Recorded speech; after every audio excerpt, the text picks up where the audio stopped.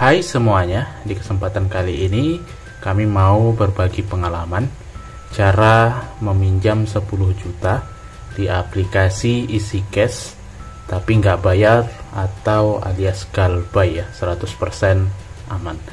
Oke langsung saja di sini teman-teman masuk ke menu Play Store. Teman-teman cari aplikasi isi cash. Ini ya. Lalu teman-teman install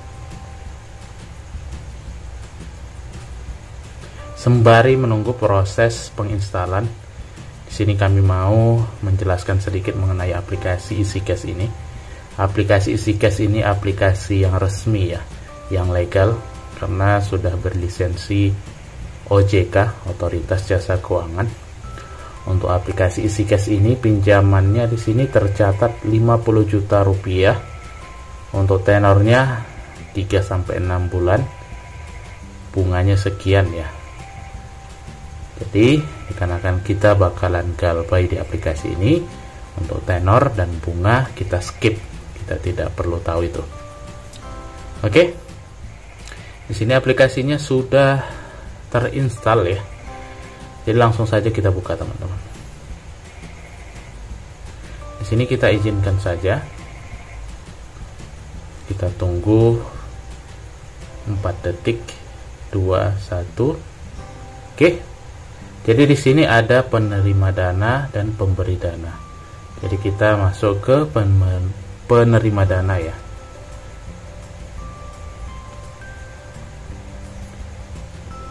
Oke. Jadi untuk tampilan awalnya seperti ini ya. Jadi di sini ada pinjaman maksimal 50 juta, suku bunga 0,4%, periode pembayaran 1 sampai 9 bulan. Cara galbainya bagaimana bang? Oke jadi menurut pengalaman kami untuk galbay di aplikasi isi cash supaya aman ada beberapa tahap ya. Jadi yang pertama itu ketika teman-teman meminjam di aplikasi ini usahakan data teman-teman yang teman-teman masukkan ke dalam aplikasi ini data fake ya. Jangan coba-coba galbay dengan menggunakan data asli kita itu sama dengan cari masalah teman-teman ya. Jadi usahakan data fake. Contohnya nomor HP ya. Nomor HP itu teman-teman bisa beli di ponsel nomor HP baru usahakan yang aktif akan tetapi nomor tersebut tidak teman-teman gunakan. Yang kedua KTP ya. Untuk KTP ini menurut gambarannya itu eh, teman-teman eh, bisa dapatkan di internet sangat banyak sekali beredar ya KTP-KTP yang bisa teman-teman manfaatkan.